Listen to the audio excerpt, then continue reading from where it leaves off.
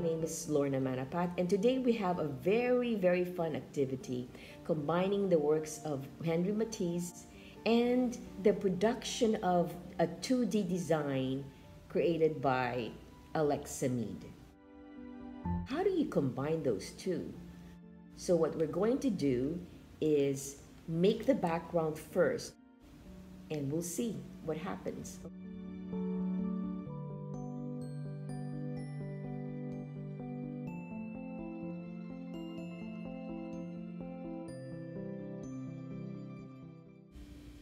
I used a black marker for easy outlining in the beginning and then I painted it over with black acrylic using a flat brush.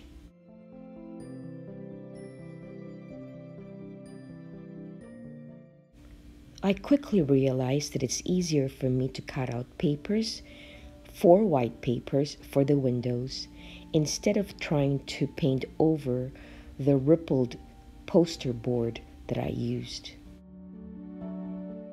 The one thing I love about Matisse are his quick brush strokes. It's almost like he's more concerned about showing motion rather than the actual figurative lines of each painting. That makes him very different from the other artists of his time. That's why sometimes they see him as a rebellious artist because he doesn't go and paint like the other artist, which is realistic or even a bit of impressionistic. His is totally different. Quick brush strokes. That's what Matisse is all about.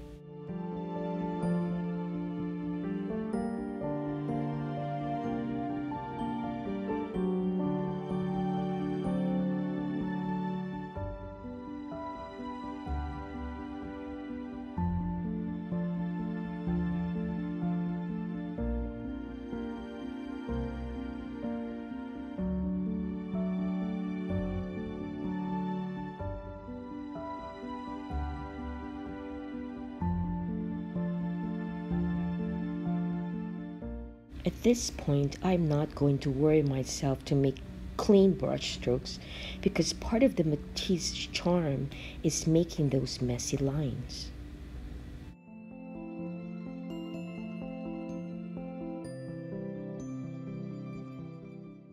And now for the Alexa Meade style. Here I have a bowl of lemon that I intend to paint and the result is stunning.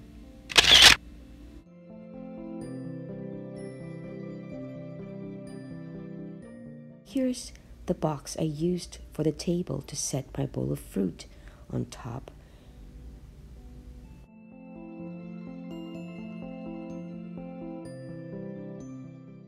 I painted it according to the colors of Matisse.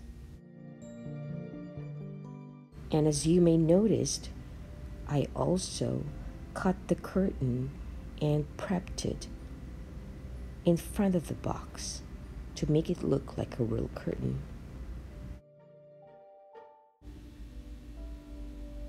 Now you try.